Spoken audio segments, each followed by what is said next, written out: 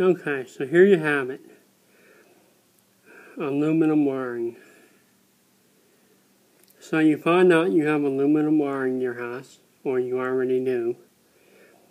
And it's all over the place, and it might be accessible, it might not be.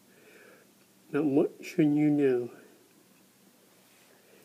One option is to pay an electrician maybe 10 grand and rewire your whole house.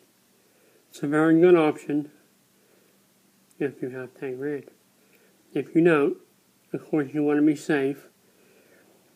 Um, you're going to have to do something. Leaving aluminum wiring in your house without taking any actions poses a fire hazard. so, um, what the problem with aluminum wiring is when you put the two pieces together and you put your wire nut on there and you twist that down, um, your wire heats up and it loosens up inside that wire nut. And that's where your fires come from when, you, when they loosen up. Or if they're on a plug you have on a plug and they could loosen up from the plug. So loose connections is the source of your fires from aluminum wiring. But we use aluminum wiring all the time in homes, especially in your service lines. But the difference is, in the service lines, you actually have a lug to tighten down that aluminum wiring and tighten it up so it doesn't give it a chance to move. And that's the difference. That's why you're not having all kind of fires with your main service lines, which are all aluminum, coming into your main panel.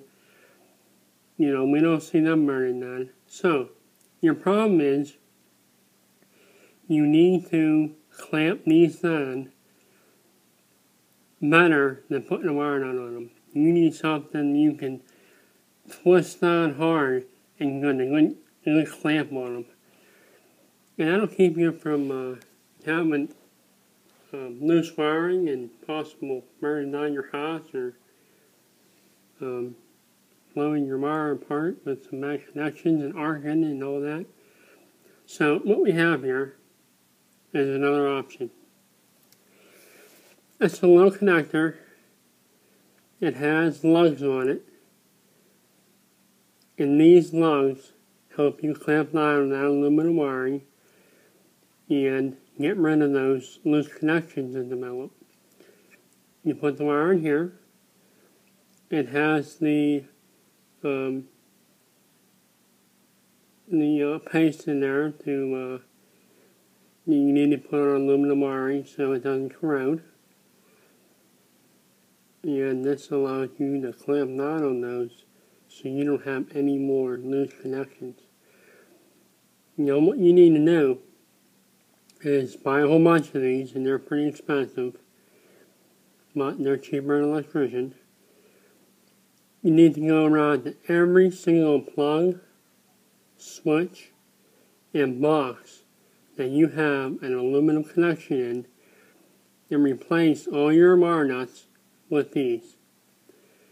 You also need to eliminate all your aluminum only plugs and aluminum only switches with copper ones.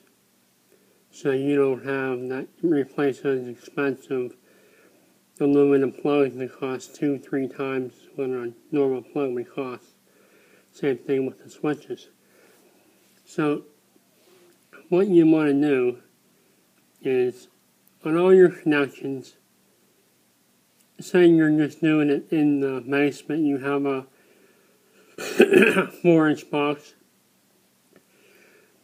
um, there'd be no reason to come out of that 4 inch box. There's no copper in there. Um, so you would just uh, put your aluminum wires in.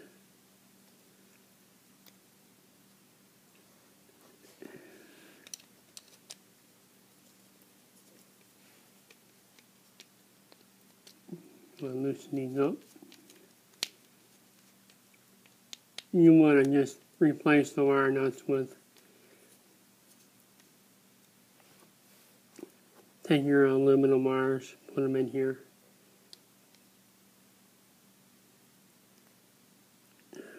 Okay, it might be a little bit long there, so you may want to trim that. Once you put all your aluminum wires in, and then you clamp that on your um, aluminum wiring. And that makes a good clamp. And there are directions on how much to clamp these down. So, so you can get the right tightness on them. Alright, there we go. So there you go. That'll replace your wire nuts. So instead of having a wire nut, you'll have these, and you, you tighten them down, and this eliminates all them loose connections and uh, burning down your house. Okay, now for your plugs, to get rid of the aluminum plugs, um, you'll either have, you know, two wires coming into this. Yeah, it's hard to say if, if it jumps from plug to plug. But you could have uh, aluminum coming in, aluminum out to your other plug. But what you do is you take a copper wire, because these are rated for aluminum and copper. You put your copper wire in there, and you run that copper wire to your plug. So from here, you would put a, a regular copper plug on there, and that eliminates your aluminum plug. You need to go around to all your boxes and replace all your plugs. So if it's just in a junction box, you know, there's no copper in there. You just put your aluminums in, tighten them down. If it's you're eliminating switches and plugs that are just aluminum, this is how to go from aluminum to copper. This is the only way to do it. So you have your original aluminum wiring and you would add your new copper. And that'll take care of it. It's important that you replace every single wire nut with these to get rid of the hazard. Also, you want to do some common sense stuff. Your dishwasher, your refrigerator, your washer and dryer, you want to run those on separate circuits with brand new copper lines. If your if your refrigerator is plugged into aluminum wire in your kitchen, run a new copper line to the fridge because it's a heavy load. The cooler that you keep these aluminum wires, the less they'll expand and contract and cause you a fire hazard. So your main appliances, make sure they have brand new copper wire go into the main appliances, especially in your kitchen. Um, I like to see you run new um, um, wire to some of your counter plugs because they carry a lot of um, electricity, and so does your refrigerator, your countertop, your dishwasher. Um, it would be nice to have a plug in your bathroom. That's brand new copper. I mean, that's a big load, but not as critical. Um, and don't forget your washer and dryer. One thing I want to tell you, do not do, is run a window air conditioner off of aluminum wiring. Even if you know your aluminum wiring and you run a copper plug out of it, that's a very high load that's no good. That'll heat your wires up. If you're going to run a uh, window air conditioner, run a brand new circuit to it. If you can't do that, put such wear in because that, that will cause a fire hazard to your house if you run such a heavy load off one of your aluminum aluminum uh, branch circuits.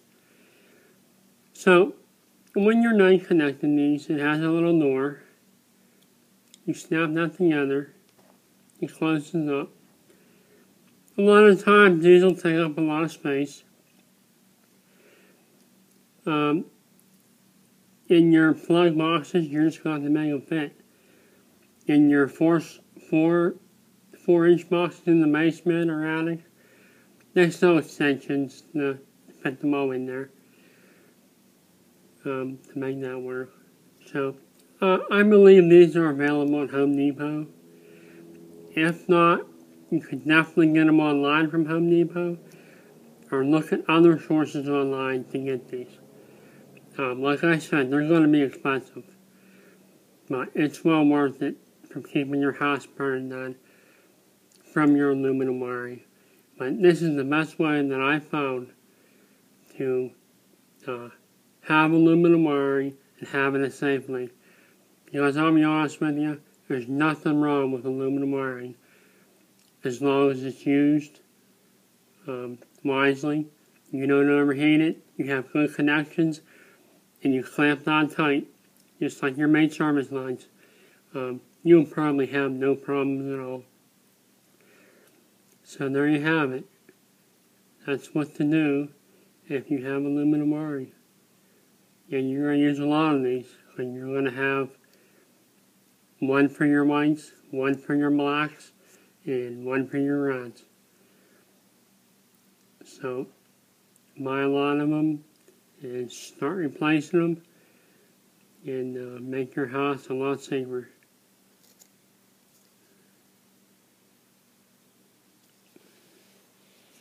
You can see on there that says aluminum copper, so it takes both kinds. I've used these a lot, and uh, I really like them. I think they work pretty well. I've never had any kind of problems whatsoever. You know, I mean, even going into places where we've actually had um, arcs because of the, you know, wire nuts and the wires getting loose.